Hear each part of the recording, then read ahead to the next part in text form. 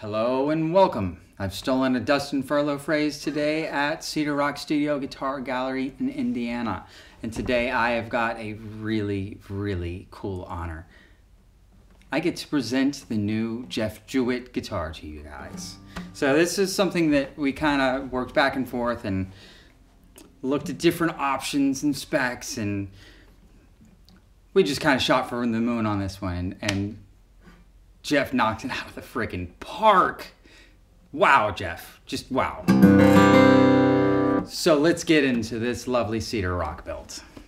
So we have a master grade Italian spruce top, and this is the first time that Jeff has worked with Italian, and he did a stellar job. Now look at how beautiful that Italian. I mean, there's no no marks no bad lines. Every grain line is perfect. Um, this is one of the, the cleanest Italian spruce tops I've ever seen.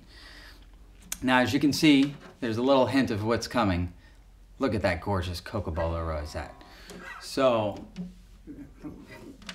there's no words needed. Just have a look at that.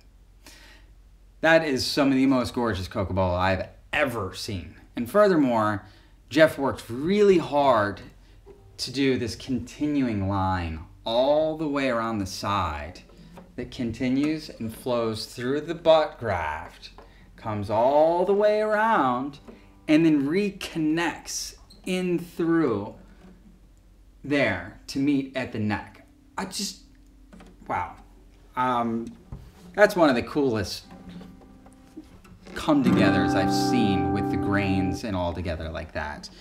So, again, Awesome job, Jeff. So uh, originally we had thought about doing ebony binding all the way around, but Jeff said, you know what? I've got this Brazilian, and how about we put a little maple purfling to make it look like gold rope all the way around? Brilliant idea, and he, look at that.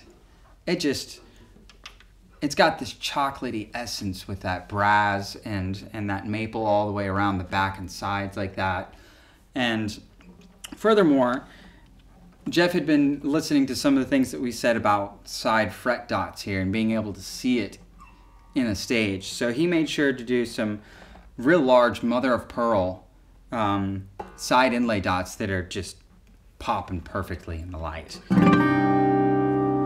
Now, the neck is a little different. It's a little wider than his normal guitars. It is um, 1 and 25 32nd at the nut and two and five sixteenths at the saddle. So it's a true wide spec fingerstyle instrument. So another thing that I want to mention about this awesome Jewitt guitar, the last one that I had played was actually Engelmann top, but Jeff did something really interesting and he put Addy bracing underneath of the hood. And that gave it just a little extra horsepower. So when we were talking about this one, even though it's an Italian top, and put that Addy bracing in there for just an extra throttle at the end. It's awesome. We talked extensively about the shape of this neck, and we wanted to try to keep it as much like a flat C all the way up and down as possible.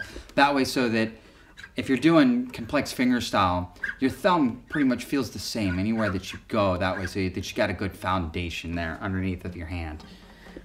Now, another thing that I really want to mention that he did a killer job of, this rosette is actually the side cutouts from the back. Uh, and he was able to make that just look perfect with the flow of the instrument. Um, now, as I said, it's got Brazilian binding all the way around. It's also got a Brazilian rosewood fretboard. So that energy and density transfers directly from the neck to the body. It doesn't get lost. Um, and furthermore, he matched the flow of this grain up into this head cap here that is also a really gorgeous set of Brazilian with this kind of cat eye um, inlay that he did there. And it's also got a Brazilian back cap. We're only going to say Brazilian one more time. But it's, it's one of my favorite parts. Look at that end graft. It almost looks like a lightning bolt, but it's got some sapwood and different colors in there. And really, this is, I, I've drooled over this instrument from the very start. Uh, I'm dehydrated now but the guitar gave me a good a good quench. This thing sounds unreal. For it to be, I mean, brand new. Look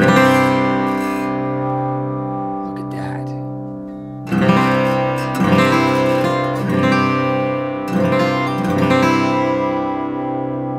Good big open sound. Um, it sounds larger than your standard OM, even though this is Jeff's OM. Wow. Stellar instrument. So if you've got any further questions um, about anything on this instrument, make sure that you message Alan at cedarrockstudio.com and stick around for the videos and thanks for listening.